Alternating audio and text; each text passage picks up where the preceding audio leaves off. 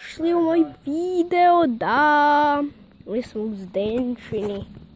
Ali upravo je ovo grob. Od Miša pod nazivom R.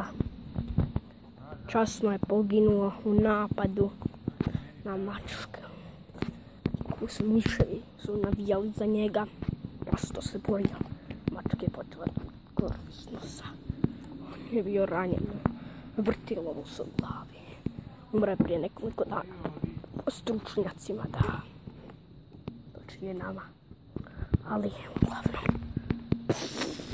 Uglavnom, miševi su mi rekli kako su bili pokriti ra ili u kraćem nadimak Rikiju. I vidjeli su ga kako se tuče. Svi da će Riki pobijediti. Ali nije ispalo tako. Trebalo je još samo jedan put ugriznu za srce. Ona bi bila mrtva. Sad bi piše njemu. I, ali nažalost to se nije desilo. Kako se čuje ovoga kuk rijeke dole? Mačka ga je. Ugla. Sapom.